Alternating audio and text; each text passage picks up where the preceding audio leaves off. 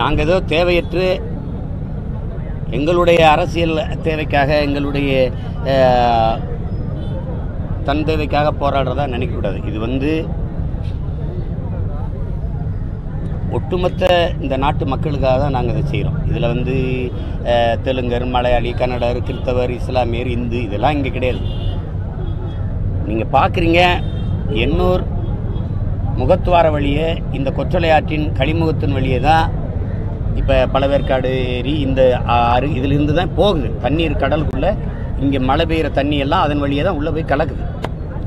இது என்ன நடந்துச்சு அப்படின்னா முகத்துவார வழியே கழிமுகத்தின் வழியே கடலுக்குள்ளே வ- போய் கலக்கிற வாய்ப்பு இருக்கும்போதே நம்ம வெள்ளத்தில் எப்படி மிதந்தோன்னு உங்களுக்கு தெரியும். ஒவ்வொரு ஆண்டும் எப்படி நம்ம வெள்ளத்தில் தத்தளித்து நம்ம எவ்வளவு பேர் சந்தித்தோன்னு தெரியும்.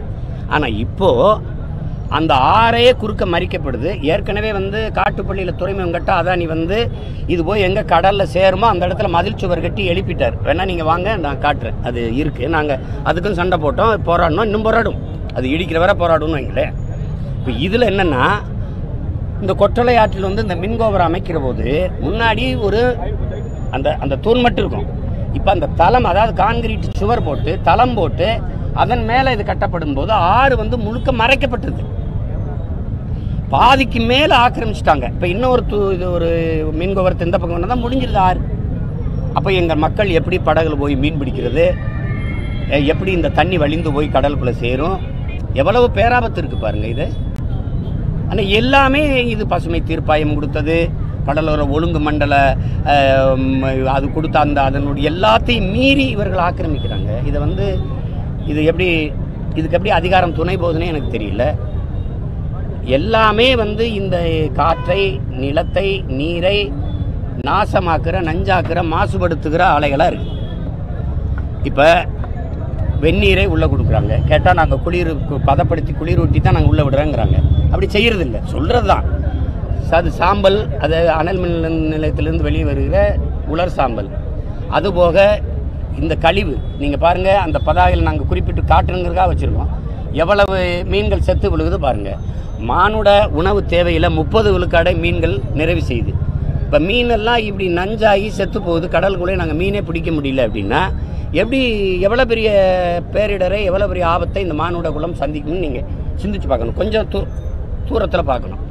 ரெண்டாவது இந்த கலிமுகம் வழியாக இந்த துறை இந்த இந்த இந்த முகத்துவார் வழியாக இருக்கிற அலையாத்தி காடுகள் இந்த சதுப்பு நிலங்களில் தான் நண்டு ந- இந்த ந- என்ன சொல்கிறது இந்த இறால் மீன் மற்ற இதுகளெல்லாம் மீன்களெல்லாம் வந்து இங்கே வந்து குஞ்சு பொ- முட்டையிட்டு குஞ்சு பொறித்து திருப்பி அழைச்சிக்கிட்டு கடலுக்குள்ளே போகுது. அந்த இனப்பெருக்கம் செய்யுது. அதுக்கு சுத்தமாக வாய்ப்பு இல்லாமல் வெந்நீர் அது எப்படி நீஞ்சி உள்ளே வரும்? வெறும் நச்சு நீர் வெறும் எண்ணெய் கழிவு எப்படி உள்ளே வரும்? அப்போ அது வரும்போது அது என்ன இருக்குது மலட்டுத்தன்மை அடைஞ்சு முட்டைகளெல்லாம் நாசமாகி முட்டையிடுகிற திறனை இழந்து அப்படியே திரும்பி போயிடுது. இப்போ வர்றதே இல்லை. அதில் இப்போ பல வேற்காடு நண்டு நம்ம பார்ப்போம். செம்பன் நிறத்தில் இந்த இந்த வண்ண நிறத்தில் இருக்கிற நண்டெல்லாம் நீங்கள் பார்த்துருப்பீங்க. அதெல்லாம் மறந்துட வேண்டியதான் நீங்கள் இறால்லாம் இல்லை. உலகத்திலேயே இறால் வந்து சதுப்பு நிலத்தில் தான் பெருசாக வளரும். ரொம்ப சுவையாக இருக்கும். ஆனால் அதெல்லாம் நம்ம மறந்துட வேண்டியதான் அப்போ ஒரு ஒரு மக்கள் பத்தாயிரம் மக்கள் அதை சார்ந்து வாழுகிற மக்களின் எதிர்காலம்னு மட்டும் நீங்கள் நினைக்காதீங்க. அதுக்காக நாங்கள் போராடணும்னு நினைக்காதீங்க. இனி ஒரு நாள் மல் மழை வெள்ளம் வரும்போது நீங்கள் எவ்வளோ பெரிய பேராபத்தை சந்திக்கிறீங்கன்னு மட்டும் பாருங்கள் அது காரணம் இதெல்லாம் தான். அந்த படத்தை பாருங்கள் நீங்கள் காட்டுங்க. நம்ம பிள்ளைங்க நிற்கிறாங்க அந்த கோபுரத்தை வைக்கிறதுக்கு எப்படி தரையை கட்டுறாங்க பாருங்க. அந்த குறுக்க ஆறையே அந்த கொட்டளை ஆறையே எப்படி மூடுறாங்க பாருங்க. இது எப்படி தண்ணி போகும் கடலுக்குள்ளே போகும்? யாராவது அறிவு இருக்கிறவங்க செய்கிற செயலா இது? இது இது செய்கிற செயலா? இது எப்படி இது? இப்போ இதை வந்து செய்யணும். கோரிக்கை வைப்போம் போராடுவோம். எங்கள் நிலம் எங்கள் வளம் அதை காக்கிறதுக்கு நாங்கள் மக்களோடு நின்று சண்டை செய்வோம் போராடுவோம். ஆனால் ஒரு நாள் இல்லை இல்லைனாலும் ஒரு நாள் அதிகாரம் மாறும்போது இந்த மண்ணை மக்களை நேசிக்கிற எங்களை போன்ற பிள்ளைகள்கிட்ட அதிகாரம் வரும்போது ஒரே நாளில் அதில் பேத்து தூர போட்டு போயிட்டே இருக்கும். நீ அப்புறம் ஐயோ நாளும் வராது அம்மா நாள் வராது. நான் ஆயிரம் கோடி முதலீடு செஞ்சேன் ஐயாயிரம் கோடி யாரை கட்டு முதலீடு செஞ்ச? யாருக்காக முதலீடு செஞ்ச? நீர்நிலைகளை ஆக்கிரமித்து நீரின் தேவை என்னன்னு தெரியாத ஆட்சியாளர்களுக்கு இந்த முதலாளிகளுக்கு தெரியாதா? நிலத்தின் இந்த இந்த இந்த இந்த இந்த கொட்டளை ஆற்றினுடைய தேவை என்னன்னு தெரியாதா? பழவேற்காடு ஏரியினுடைய இது தெரியாதா? உங்களுக்கு தெரியாதா? அதையெல்லாம் அழிச்சிட்டு அப்புறம் என்ன என்ன செய்ய போறீங்க நீங்கள் இது எப்படி வளர்ச்சின்னு காட்டுறீங்க? இது எப்படி வளர்ச்சின்னு காட்டுறீங்க நீங்கள் இதுதான் வளர்ச்சியா? இவங்க என்ன காட்டுற வளர்ச்சினா நாங்கள் பட்டினியாக நின்று கையேந்தும் போது விண்ணூர்தியில் பறந்து வந்து உணவு பொட்டலத்தை போடுறது வளர்ச்சி டெவலப் அப்படிதானே சொல்றாங்க. நாங்கள் சோத்து பொட்டலம் போட்டோம் எதில் போட்டோம்? ஹெலிகாப்டர் வந்து போட்டோம். இதெல்லாம் என்ன? வளர்ச்சி.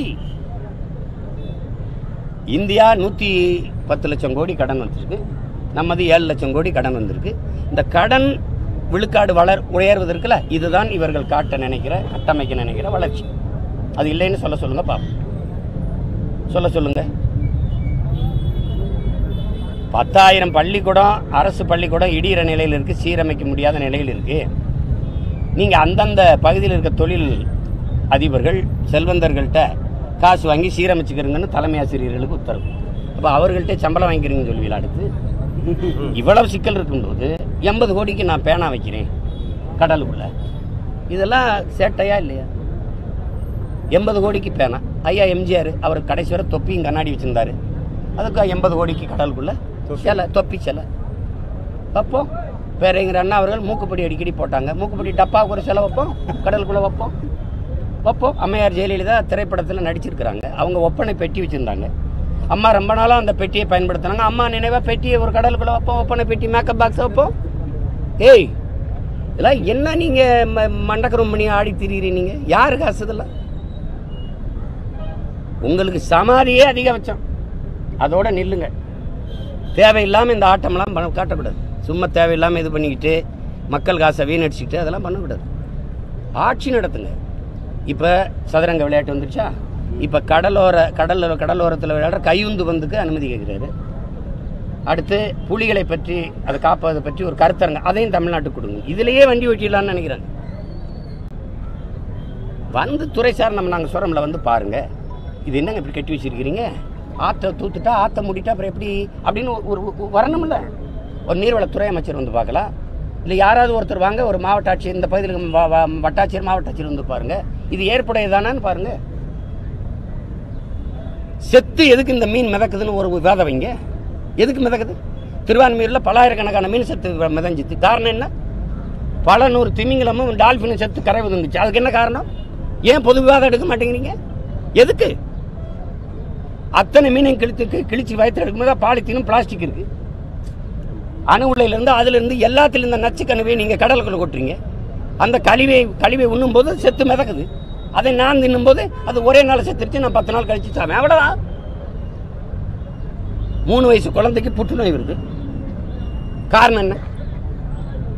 காரணம் என்ன? யார் விவாதத்துக்கு வர்றது? மூணு வய மூணு வயசு குழந்தை என்ன பீடி குடிச்சதா? சிகரெட் பிடிச்சதா? பான்பராக்கு வெத்தலை போட்டதா? இல்லை என்ன? குட்கா போட்டதா? இல்லை சாராயம் அடித்ததா என்ன எதனால வந்தது? தாய்ப்பாலில் பால் குடிச்சது. தாய் மாறில. அவ்வளோதான் தாயின் மாறிலேருந்து வந்தால் பால் நஞ்சாயிடுச்சு பால் ஏன் நஞ்சாச்சு? தாய்ப்பால் ஏன் நஞ்சாச்சு? தாய் தின்ற உணவு. எத்தனை காலத்துக்கு நாங்கள் இப்படி கத்திக்கிட்டே இருக்கிறதுன்னு நினைக்கிறீங்க? இப்படியே சொல்லிக்கிட்டே இருக்கணும்.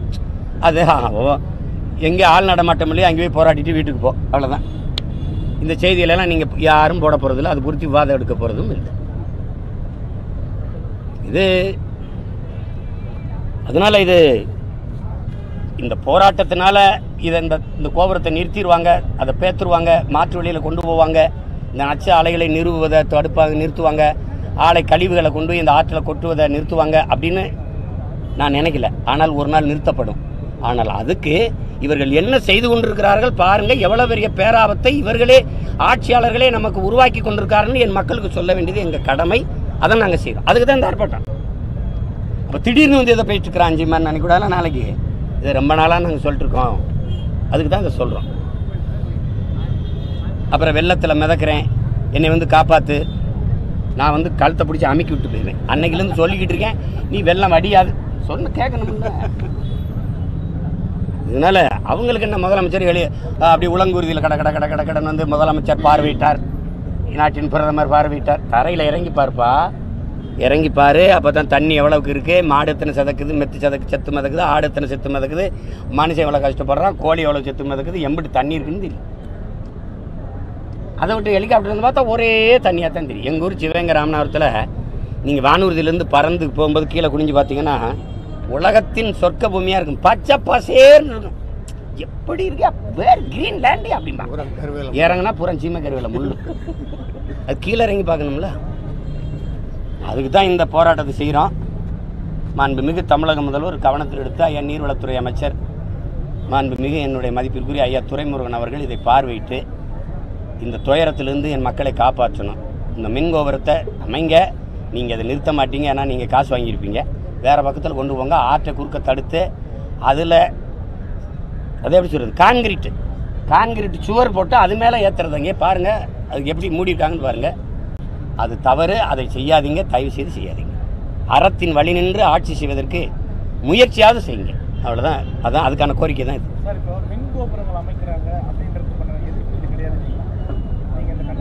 எதிர்ப்பு தான். மின் மின் கோபுரமே இப்போ நமக்கு என்ன சொல்கிறோம்னா உங்ககிட்ட சொல்கிறேன்ல உலகம் முழுமைக்கு அணு உலையை மூடிட்டு இந்த அனல் மின் நிலையத்திலிருந்து மாறி மாற்று மின் பெருக்கத்துக்கு விரைது ஏன்னா சூழியலுக்கு அணு உலை வேணும் அட்டாமிக் பவர் வேணும்னு பேசின ஐயா அப்துல் கலாமே முடிக்கும்போது சூழியலுக்கு பாதுகாப்பானது காற்றாலை மின்சாரமும் சூரிய ஒளி மின்சாரம் தானே முடிக்கிறது. இப்போ வேணா இருக்கு நீங்கன்னா எடுத்துப்பார் அப்போ அது என்ன சொல்ல வருதுன்னா இதெல்லாம் இந்த மின் இப்போ அணு அணு அனல் அனல் மின்சாரம் நம்ம தயாரிக்கிறோம்ல எண்ணூர்லேருந்து அந்த இடத்துக்கு நம்ம அந்த கூட்டம் முடித்து நம்ம எல்லாரும் பயணிப்போம். இவர் இவர்கள் அந்த உலர் சாம்பலை கொண்டு போகிறதுக்கு அந்த த கொண்டு போகிறதுக்கு ஒரு குழா போட்டிருக்காங்க. தூண் இங்கே இருக்குது குழாய் இங்கே இருக்குது எவ்வளோ நேர்மையாக கட்டியிருக்காங்க பாருங்க. வெடித்து பீச்சி அடிக்குது அந்த சாம்பலை. அது வந்து கொட்டுற இடத்துலாம் மக்கள் வாழ்விடங்கள்லாம் நிலங்களில் பல நூற்றுக்கணக்கான ஏக்கரில் இந்த சதுப்பு இந்த உலர் சாம்பலை கொட்டி வெறும் சாம்பலாக இருக்குது சின்னதாக காற்றடித்து கூட பறந்து வந்து துணி காயப்படாது காயம் போட முடியாது. நீங்கள் நடக்க முடியாது சாப்பிட முடியாது சுவாசிக்க முடியாது. சாப்பிட்டா சோறு பூரா சாம்பலாக தான் இருக்கும். அந்த நிலை இருக்குதா இல்லையான்னு வந்து ஒரு தடவை மாற்று மின்பெருக்கத்துக்கு வாங்கங்கிற மறுபடியும் இன்னொரு ஒரு யூனிட் இன்னொரு அனல் மின் நிலையத்தை நாங்கள் தொடங்க போகிறோம் அணுவில் இன்னொரு யூனிட் ஆரம்பிக்க போகிறோம் ஏன் அது? காற்றாலை இருக்குல்ல அதை பெருக்கு. சூரிய ஒளியில் மின்புங்கா இருக்குல்ல அதை பெருக்கு. இதில் என்ன கொடுமைனா அனலை அரசு வச்சுக்கிறோம். அணு அரசு வச்சுக்கிறோம். காற்றாலையும் சூரிய ஒளியில் மின்சாரத்தை தயாரிக்கிறது முதலாளிட்டு கொடுத்துரும் எப்படிப்பட்ட நிர்வாகம் இது?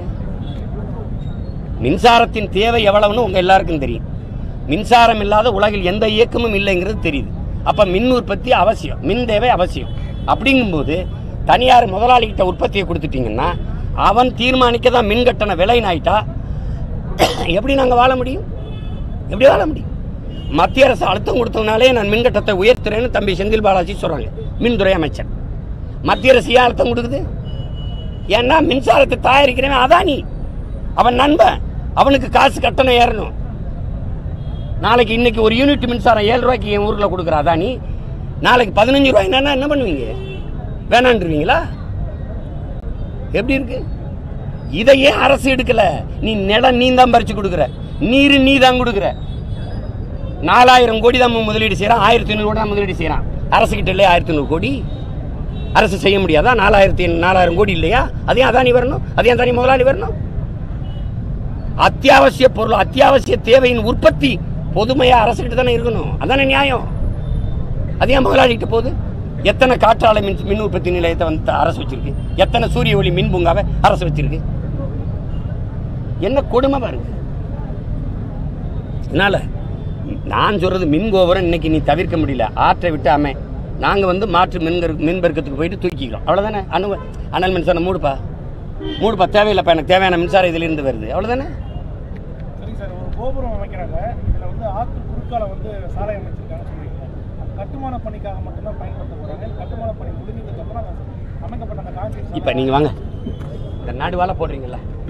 எப்படி என் படகு போகும்? தற்காலிகமானதுன்னு சொல்றாங்க சார்.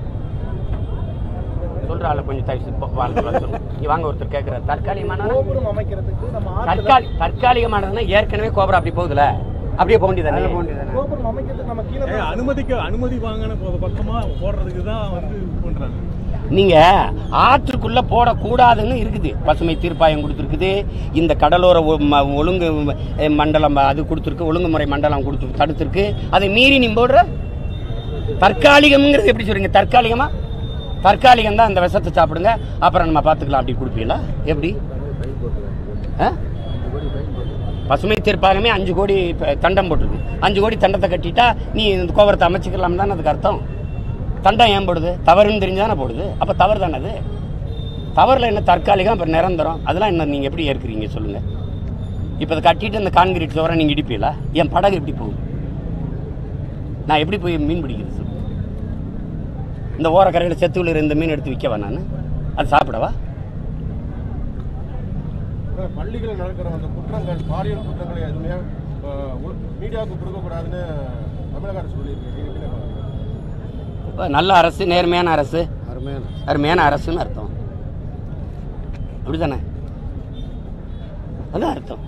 மக்கள் உங்களுக்கு ஒன்று சொல்றேன் மக்கள் தினந்தோறும் போராடுகிறார்கள் என்றால் மக்களுக்கான அரசு அமையவில்லை என்று அர்த்தம். அதான் உண்மை. இப்போ நீங்கள் முத பிரதமர் வரும்போது ஒன்று கேட்குறேன் பிரதமர் வரும்போது ஐயா சங்கர் ஜிவாலா அவர் ஒரு அறிக்கை கொடுத்தாருன்றாங்க. நான் கூட அதுக்கு எதிர்த்து அறிக்கை கொடுத்தேன். அது என்னன்னா பிரதமரை வந்து முகநூல்லையே அதிலே விமர்சிச்சிங்கன்னா சுட்டுச்செய்தியிலே விமர்சிச்சிங்கன்னா நடவடிக்கை எடுக்கப்படும். அப்படிங்கிறது. இப்போ நான் என்ன கேட்குறேன் பிரதமர்கிட்ட கேட்குறேன் நாங்கள் விமர்சிக்காத அளவுக்கு நீங்கள் செயல்படணும்ல. நாட்டு மக்கள்லாம் வருக வருகன்னு வழி நடுங்க நின்று பூத்துகிற அளவுக்கு நீங்கள் ஆட்சி செஞ்சிருக்கணும்ல. விமர்சிக்கவே கூடாதுன்னு விமர்சனத்துக்கு அப்பாற்பட்டவரா நாட்டின் பிரதமர் முதல்வர்? சொல்லுங்க நீங்க. இதுதான் ஜனநாயகமா? நீங்க கட்டி காப்பாத்தி வரப்போற ஜனநாயகம் தானா? இதுதானா பாராளுமன்றத்தில் எட்டு ஆண்டுகளில் நடந்த ஒரு விவாதம் சொல்லுங்க. வாதம் எதிர்வாதம் தானே? ஒரு தர்க்கம் சொல்லுங்க. ஆனா எத்தனை சட்டங்கள் நிறைவேற்றப்பட்டிருக்கு? பாராளுமன்றத்திலையும் ஏற்று பேசக்கூடாது சட்டமன்றத்திலையும் ஏற்று பேசக்கூடாது மக்கள் மன்றத்திலையும் பேசக்கூடாதுன்னு நீங்க யார் தான் யார் நீங்க? ஆனா நீங்க எதிர்க்கட்சியா இருக்கும்போது கோபேக் மோடி நீங்க மோடி கருப்பு கொடி காட்டுறீங்க. நீங்க புரோட்டோக்காலுங்கிறீங்க. பிரதமர் வர்றது அரசு முறை பயணம் வரும்போது புரோட்டோக்காலுங்க. அதானே எடப்பாடி ஆட்சிக்கு? அவர் ஆட்சியில் இருக்கும்போது அதே புரோட்டோக்கால் ஆட்டுக்கால் இருக்காதா? இப்போ உங்களுக்கு மட்டும் புரோட்டோக்கால் வந்துருதா? எப்படி? அது மாதிரி தான் இவங்க சொல்றது. கற்பழிப்பு எந்த குற்றமானாலும் வரக்கூடாது விவாதத்துக்கு. என்ன பெரிய ஜனநாயகம்? ஆனால் வாய்களையும் நீங்க என்ன பேசுனீங்க? கருத்து சுதந்திரம் பேசுறீங்க இதே பிரதமர் ஐநாவில் போய் கருத்து சுதந்திரத்துக்கு ஆதரவாக கையெழுத்து போட்டு நாலு பத்திரிகையாளரை காலையில் கைது செய்து உழுதி போட்டார் ஒருத்தர் இப்போ விடுதலை ஆயிருக்காரு. அதே தான் இங்கே. வன்புணர்வு செய்து கொலை செய்கிறா கூட்டு வன்புணர்வு செய்து கொலை செய்யறான்னு தெரியுது. அதை நேர்மையா விசாரிச்சு நடவடிக்கை எடுக்க துப்பு இல்லை. அதை பேசாத அதை பத்தி விவாதிக்காதேன்னா என்ன அர்த்தம்? இது உங்க பேரன் உங்க பேத்தி உங்க வீட்டு பிள்ளை. விட்டுருங்க. அப்படின்றீங்களா? அப்படி சொல்லுங்க நாங்களும் விட்டுறோம். நாட்டில் இருக்கிற பிள்ளைகள் எல்லாம் பெண் பிள்ளைகளுக்கு தகப்பன் போல இருந்து பேசுகிறேன். அதெல்லாம் வெறும் வசனம் தானா? அன்னைக்கு மோடி வரும்போது மோடியை எதிர்க்கும் போது இவர் பேசுனது இருக்கு. ஃபாசிஸ்ட் மோடின்னு. இன்னைக்கு பட்டமளிப்பு விழாவில் அண்ணா பல்கலைக்கழகத்தில் எப்பேற்பட்ட நாட்டின் தலை மதிப்புமிக்க பிரதமர் கையால நீங்க விருது வாங்குறீங்க பட்டம் வாங்குறீங்க எதிர்காலத்தில் உங்க பேரம்பேத்திக்கிட்ட வந்து நீங்க பெருமையோடு காட்டிக்கலாம். நாட்டின் பிரதமர் கையாலே நம்ம பட்டம் வாங்கினேன் அவ்வளவு பெருமைக்குரியவர் முதல்ல உங்களுக்கு ஃபாசிஸ்ட் அப்படி தெரிஞ்சாரு. இடையில செலவிக்கு போட்டு எடுத்திருக்கா மோடியை? அதே ஃபாசிஸ்ட் தானே? இப்போ வேற மோடியா? இல்லை டூப்பா? கேட்டான்னு சொல்லுவீங்க. அன்னைக்கு எழுதி கொடுத்தவன் அப்படி எழுதி கொடுத்தான் தம்பி. இன்னைக்கு எழுதி கொடுத்தவன் இப்படி எழுதி கொடுத்தான் தம்பி. வேற என்ன? என்ன? என்ன சிரிக்கிறீங்க? இதானே ஒரு- இப்படிதானே இருக்கு? நீங்களாம் தான் பேசணும். எனக்கிட்டே கேள்வி வைக்கிறீங்க என்னையே பேச வைக்கிறீங்க அதையும் போடவும் மாட்டீங்க. பேசுறதுக்கு நானாவது பேசுறேன்ல? சரி போடு போ போடு போட்டு விடு. ஏய் என்னையா கற்பழிச்சாலாம் தொலைக்காட்சியில் காட்டாத விவாதிக்கானா இப்படி? எதை காட்டலாம்? எதை காட்டலாம்னு சொல்லுங்க. சார் ஆனா அடுத்து இதுல வந்து எதிர்க்கட்சிகள் எல்லாமே போராட்டம் நடத்துறாங்க எதிர்த்து. அடுத்து ஜிஎஸ்டி கவுன்சில் கூட மதுரையில் நடத்த ஏய் இப்போ எந்த எந்த கட்சியை எடுத்து போராடி இருக்கு? எந்த கட்சி? ஜிஎஸ்டி வரி உயர்வை எதிர்த்து போராட்டம் எந்த கட்சி? ஒரு ரெண்டு கட்சி சொல்லு. Marxist communist K. பாலகிருஷ்ணன் தலைமையில போராட்டம் நடத்தினாங்க. சரி. தேமுதிக தலைமையில போராட்டம் நடத்துறாங்க இப்போ தற்பொழுது அடுத்த ஜிஎஸ்டி கவுன்சில் கூட்டம் வந்து மதுரையில் நடக்க தெரிவிக்கிறாங்க. இதுக்கு வந்து அனுமதி தரக்கூடாதுன்னு கே. பாலகிருஷ்ணன் சொல்லியிருக்காரு. அவருடைய கருத்து நீங்க எப்படி பார்க்குறீங்க? அனுமதி தமிழ்நாட்டில் மதுரையில் நடக்கலைன்னா ஆந்திராவில் நடத்த போகுது கர்நாடகாவில் நடத்த போகிறாங்க இல்லை அங்கேருந்தே உத்தரவு போட போகிறாங்க அவங்க தான் சொல்கிறாங்க ஜிஎஸ்டி கவுன்சிலில் உங்கள் நிதி அமைச்சர் தானே இருந்தார். அவர்கிட்டையும் கேட்டு தானே இந்த இந்த- வரியை விதித்தோம் இப்போ பேசாமல் வாய் மூடிட்டு இருந்து அங்கே போயிட்டு ஏதோ அஹ், பேசிக்கிட்டு இருக்கீங்களேன்னு அந்த அம்மா சொல்கிறாங்க யார்? நம்ம அம்மா சொல்கிறாங்க நம்ம அம்மா சொல்கிறாங்க அதுக்கு என்ன என்ன என்ன பதில் இருக்குது சொல்லுங்கள் ஒருமித்த பொருளோட ஜிஎஸ்டி கவுன்சில் எல்லா மாநில உறுப்பினர்கள்லாம் கலந்துக்கிட்டாங்கன்னு சொன்னாங்க. ஆனால் கே பாலகிருஷ்ணன் சொல்றாரு கேரளாவுடைய உறுப்பினர் வந்து கலந்துக்கலன்னு. அது அவங்க வந்து பொய் சொல்றாங்க அப்படி சொல்லி சொல்றாங்க. இதை எப்படி கேரளாவோட உறுப்பினர் யார்? அவங்க உறுப்பினர் அவங்க தான் ஆள்றாங்க. அவங்க உறுப்பினர் ஏன் கலந்துக்கலைன்னா அவரே பேசலாமே ஏப்பா நீங்கள் வந்து கலந்துக்கல அப்படின்னு. அதுக்கெல்லாம் நான் வரல. நான் எதிர்க்கிறேன். நான் வந்து ஜிஎஸ்டி எதுக்குறேன் ஜிஎஸ்டி எதுக்குறேன் ஜிஎஸ்டி நீ என்னன்னா நீ வரி விதிச்சுக்க. வரி விதிச்சுக்க வாங்கிக்க. மன்னராட்சி காலங்களில் நாங்கள் விளைய வைக்கிற தானியங்களை அரசுக்கு அரசு ஏன்னா நிலம் அரசுடையது அ- அ- அ- அரசருடையது. மன்னருக்கு தான் சொந்தம். நாங்கள் விளைய வச்சு எங்களுக்கு உள்ளதை எடுத்துன்னு அரசு எடுத்துகிட்டு போயிடும் தானியங்களை. உணவு சேமிப்பு கிடங்களில் வைப்பாங்க. சேமித்து வைப்பாங்க. சேமித்து வச்சு பேரிடர் காலங்களில் வெள்ள வே- வேளாண்மை இப்போ பொய்த்து போன காலங்களில் மக்களுக்கு திருப்பி கொடுப்பாங்க. அப்படி தான் உலக நாடுகள்லாம் வரி நூறுரூவாயில் எழுபது ரூபாய் எடுத்துக்கிறது வரியாக எடுத்துக்கிறனாலும் நலத்திட்டமாக உயர்ந்த மருத்துவம் உயர்ந்த கல்வி தூய குடிநீர் சிறப்பான சாலை வசதி தடையற்ற மின்சாரம் இதெல்லாம் அதை கொடுத்துருது. ஆனால் என் நாடு இதெல்லாம் எடுத்துகிட்டு போயிட்டு என்ன செய்துங்கிற கேள்விக்கு தம்பி தம்பி அண்ணாமலைகிட்டே கேட்போம் எல்லாத்தையுமே புள்ளி விவரம். பாருங்கள் டேட்டா பேஸோட நான் பேசுகிறேன் இப்படி பேசுகிறேன் இதை ஒரு தடவை டேட்டா பேஸோட பேசுகிறேன் மொத்தமாக எவ்வளவு ஜிஎஸ்டியால் வருமானம்? அந்த வருமானம் என்னவாக திருப்பி மக்களுக்கு நலத்திட்டமாக கொண்டு போகப்பட்டிருக்கு? செயல்படுத்தப்பட்டிருக்கு. ஒரு ஒரு அறி ஒரு ஒரு தடவை பேசுங்க. ப்ரெஸ் மீட் பண்ணி பேசுங்க. அப்போ இது அந்த கொற்றை ஆற்றில் இது வரைக்கும் படிச்சிருக்கிற மாசுவெல்லாம் மாசு கட்டுப்பாட்டு வாரியம் இந்த பசுமை தீர்ப்பாயம் எல்லாம் சுத்தம் செய்வதற்கான வேலைகள் எடுத்திருக்கா? இல்ல அதை முன்னெடுத்து போறது எடுத்திருந்தா என் மிதக்குது? எடுத்திருந்தா என் மிதக்குது? இப்போ மீன் செத்துருச்சுங்கிறீங்க. அந்த மீனை நான் சாப்பிடாம இருக்கலாம் அந்த அந்த அந்த அந்த நாற்றம் வீசுகிற காற்றை என் பிள்ளைய சுவாசிக்குதா இல்லையா? சுவாசிக்குமா இல்லையா? அப்போ அதுக்கு என்ன ஆகும்? சாக்கடை இங்கே இருந்தாவே நீங்கள் மூக்க பிடிச்சிட்டு போகிறீங்க அந்த இடத்துல வாழ முடியல வீட்டை காலி பண்ணுறீங்க நாங்கள் எங்கே போகிறது இது எல்லாமே உச்சி வெயில்ல இப்படி உட்கார்ந்து பண்றீங்களே. இதனால வந்து செவிசாய்க்கப்படுதா அரசாங்க தரப்புல இருந்து சரி இங்கே உயிரை கொடுத்து தீக்குளிச்சு செத்தாலே ஏற்று பார்க்க மாட்டானே. இங்கே உயிருக்கே மதிப்பு இல்லையே. ஆனால் நாங்கள் வந்து போகிறா என்னென்னா இப்போ சொல்லிக்கிட்டே இருக்கணும். இவ்வளோ பிரச்சனை இருக்குன்னு யார் நாங்கள் பேசல யார் பேசுவா? மக்களுக்கு யார் சொல்லுவா? யார் சொல்லுவா சொல்லுங்க முதல்ல. நம்ம தானே சொல்லணும். கொற்றலை ஆட்டுக்கு எனக்கு என்ன சம்மந்தம்னு கேட்பான். நான் சிவங்கக்காரன் ராமநாதத்துக்காரன் எனக்கு இந்த கொற்றலை ஆட்டுக்கு என்ன? இது ஏன் நிலம்? என் தாய்மண் இந்த ஒரு இடம் தான் எனக்கு இருக்குது கொட்டல் ஆறில் என் அண்ணன் பிடிச்சான மீன் என் தம்பி பிடிச்சானே என் பாட்டன் சித்தப்பன் பெரியப்பன் பிடிச்சானே நான் பிடிச்சானே. அந்த மீன் தானே எனக்கு உணவு. நிர்மலா சீதாராமன் மாதிரி சொல்ல முடியாது வெங்காயம் விலை ஏறி போச்சம்மா. நான் வெங்காயம் சாப்பிட்றதுல அதை பற்றி எனக்கு கவலை இல்லைன்னு அந்த மாதிரி நான் சொல்ல முடியாதுல்ல நான் மீன் சாப்பிட்றதில்ல. அதனால மீன் எப்படி பண்ண அப்படின்னு சொல்ல முடியாதுல்ல. அதனால் இது அவங்க கவனத்தில் எடுக்கலை.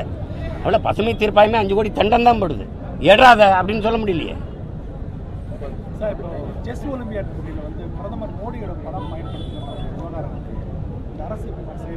அது தவறு. நான் என்ன சொல்கிறேன் நீங்கள் அவரை கூ அவரை போய் நீங்கள் கூப்பிட்டீங்களா? அவர் வரேன்னாரா? நீங்கள் தானே கூப்பிட்டீங்க? நீங்கள் தானே கூப்பிட்டீங்க? இந்த முகநூலில் அவரை விமர்சித்து எழுதக்கூடாது அது ஒரு புரொட்டக்கால்னு சொல்கிறேன் நீங்கள் அவரை பிரதமரை போய் நாட்டின் பிரதம முதன்மை அமைச்சரை நீங்கள் கூப்பிட்டீங்க. அவர் நான் வர்றேன். சதுரங்க விளையாட்டை நான் தொடங்கி வைக்க வரேன் அவர் ஒன்றும் சொல்லவும் இல்லை யாரும் சொல்லலை. நீங்கள் போய் அழைப்புதல் கொடுத்து கூப்பிட்டீங்க. முதல்வர் போகிறதா இருந்தது அவருக்கு கொரோனா வந்துட்டதுனால ஐயா டிஆர் போல போல அடுத்த மூத்த தலைவர்கள் போனாங்க. அவர் அதனால் வர்றேன்னாரு அப்போ வரேன்போது முறையாக நீங்கள் உங்கள் புரட்டாக்காலே கொடுத்துருக்கணும்ல. அவர் படத்தை வச்சு மரியாதை செஞ்சிருக்கணும். இன்னும் கூப்பிடாம இருந்திருக்கணும். கூப்பிட்டா அதுக்குரிய மரியாதை கொடுக்கணும். இப்போ இதே இதே போட்டி அம்மையார் ஜெயலலிதா இருக்கும்போது நடத்துனாங்க. அவங்க பிரதமரை கூப்பிடல. இவ்வளவு பூரா ஜெஸ்ஸு சதுரங்க கா கட்டையாக வச்சுக்கிட்டு ரோடு ஒரு சாலை ஒரு அடுக்கில் போஸ்ட்டு. பிரமாதமாக நடத்துனாங்க. உலக புகழ்பெற்ற சிறந்த விளையாட்டு வீரன்லாம் வந்து பங்கேற்றுட்டு போனாங்க. நீங்கள் இதை செஞ்சீங்கன்னா அவரை அழைச்சிங்கன்னா அவருக்கு உரிய மரியாதை கொடுக்கணும்ல? இத்தனை கோடி தமிழ் மக்களுக்கு ஏற்பட்ட அவமானம் இல்லையா அது? நாங்கள் பண்பாடு தெரியாதவன் மரியாதை தெரியாத நாட்டு மக்கள் இனத்தின் மக்கள் மாதிரி எங்களுக்கு அவப்பேர் வரலையா? சொல்லுங்கள் நீங்கள் சொல்லுங்கள் எதிரியாக இருந்தாலும் வர சொல்லிட்டில பண்பாட்டோட நடத்தி அனுப்பணும். அதானே முறை? நீங்கள் வச்சுருக்கணும்.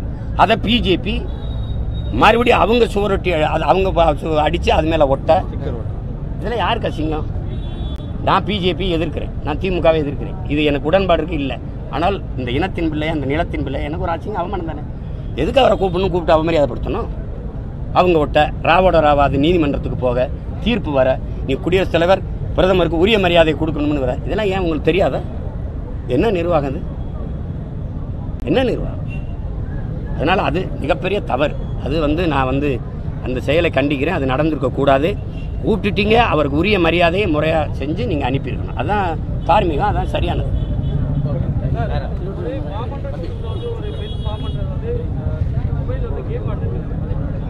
எங்க?